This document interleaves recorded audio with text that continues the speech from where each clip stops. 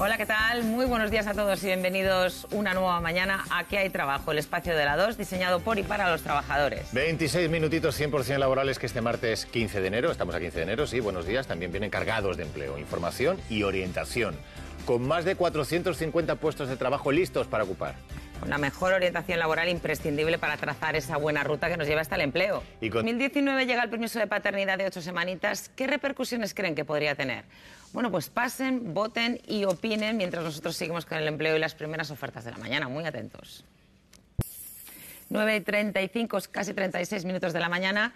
Y tenemos cita con Marta Gago, que es orientadora laboral de Trabajando.com Universia. Muy buenos días, Marta. Hola, Pepa. Feliz año. Ya sé que ya ha pasado mucho tiempo, pero como nos hemos visto. Igualmente. Y me imagino que preparadísima para responder consultas, ¿no? Vamos allá. Pues venga, Antolina, adelante. Pues vamos con ella, la primera es una... Bueno, José Manuel no menciona idiomas ni tampoco nos habla de su experiencia, son cosas importantes sobre todo en este ámbito, pero vamos con los consejos. Sí, bueno. Ah, bueno, pues nuevas salidas del periodismo, los nuevos caminos que está tomando, los portales, las redes, eh, los contactos que podría hacer, cómo reorganizarse y cómo enfocarse no en el periodismo tradicional, sino en, en las nuevas oportunidades que hay en el sector. Que hay suerte para este colega de, de oficio. Y vamos con la siguiente consulta, Antolín. Pues la siguiente es un correo, y fijaos qué curioso, es que lo firma otro José... en valor toda la experiencia que ha acumulado como empresario. ¿Cómo es, lo tiene que hacer? ¿Qué es lo primero que podría hacer? A las que podría aplicar, pero le recomendamos que le dé él un vistazo porque dependiendo del ámbito que más le interese, aplique a unas y a otras. Y además va a haber un elemento, un requisito que es bastante indispensable, que es el inglés. Esta competencia lingüística le vendría muy bien, en el caso de no tenerla, fortalecerla para acceder a un mayor número de ofertas laborales. De todas formas... Ah, para nuestro espectador o pasamos a la siguiente consulta. Bueno, le podemos decir que en LinkedIn ahora mismo, en MediaMark Alcorcón, buscan justamente a un comercial en climatización, así que a ver si tiene suerte. Pues sí, porque desde luego lo tiene que saber todo sobre climatización. Vamos con la tercera. La tercera no- Puede buscar información de técnico superior de laboratorio, que es lo que ella quiere. De hecho, en Barcelona Formación puede ahora mismo cursar estos estudios, la titulación oficial superior, 12 meses y acceder a prácticas profesionales. La respuesta de la convalidación es un sí. Puede convalidar, que se meta en la página del Ministerio, todofp.es, y como un consejo, que esté muy atenta a las ofertas de farmacia que puedan ir saliendo, que es una salida profesional para la biología muy interesante. Bueno, pues así terminamos. Muchísimas gracias, Gracias. Marta. Y ustedes, si quieren que los orientadores de Trabajando.com Universia les asesoren, muy atentos porque les vamos a explicar cómo tienen que hacerlo. Y en Aquí Trabajo entramos ahora en fase formación con la inestimable ayuda de las becas. Hoy tres programas a elegir. Cómo obtener una ayuda económica para preparar oposiciones, realizar prácticas remuneradas en el sector aeronáutico o estudiar un año en Tokio a gastos pagados. Y por Tokio comenzamos precisamente, así que muy atentos.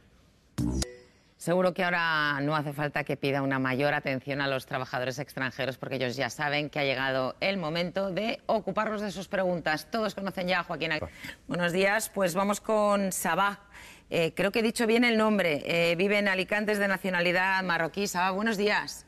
Sí, hola, buenos días. No sé, eh, eh, lo del nombre, lo primero. Es S-A-B-A-H. Sí, sí, pero ¿cómo se pronuncia? Saba. Saba.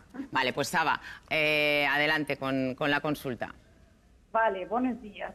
Eh, pues eh, mi hermano tiene 19 años, cruzó el estrecho en una patera y a su llegada, que retenido por la policía, se quedó bajo. ¿Y estamos hablando de un proceso complicado o no? No, es Simplemente un- es cuestión de esperar. Es cuestión de presentarlo, eh, tener una cita, presentarlo. Es- una no- y otra vez. No pasa nada. Hala, pues a insistir. Ay, mío, Le vale. pido un poco a Julio un poquito de paciencia. Realmente está en marzo, le queda bastante poco. Si lo han eh, introducido ya con, la nueva, con el la nuevo reglamento, no le van a pedir medios económicos ni nada. Quiero decir que es más fácil que salga la cosa positiva. Nada, que espere un poquito. ¿Sabes? Eh, ¿Recuerdas en qué página tiene que consultar? Una página que a mí me encanta, porque la verdad es que es muy gráfico el nombre. ¿Cómo va lo mío? Efectivamente. Que se meta ahí, que vaya viendo, ¿vale? Y- Julio, si te la conceden, cuéntanoslo porque vamos a estar pendientes y además nos vamos a alegrar muchísimo por ti.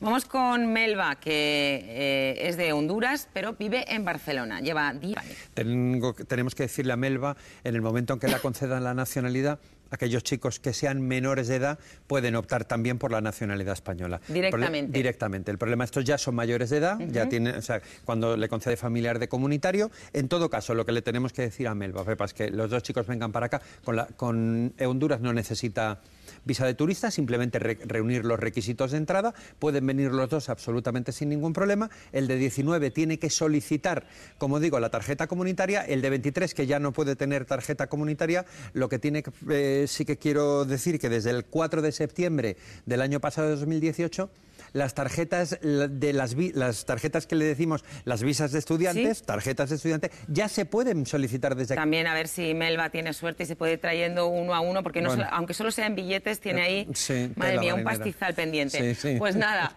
eh, Joaquín, muchísimas gracias como Hasta la siempre. semana.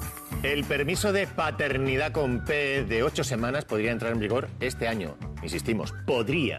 ¿A usted qué le parecería? ¿Cuál cree que sería la cosa más importante si eso sucediera? Bueno, aquí están las respuestas que nos han dado nuestros amigos tuiteros. Habría menos productividad para que conozcan día tras día. La oferta de empleo más demandada del día, la de mecánicos y jefes de taller, para trabajar en distintas localidades españolas.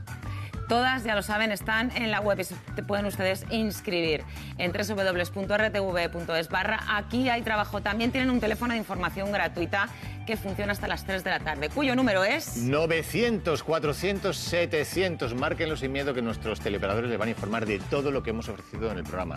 Cómo les ofrecerán mañana información sobre el que haremos a las 9 y media en la 2. No se lo pierdan. Les esperamos. Chao. Hasta mañana. Y ahora vienen aquí al Meeting Point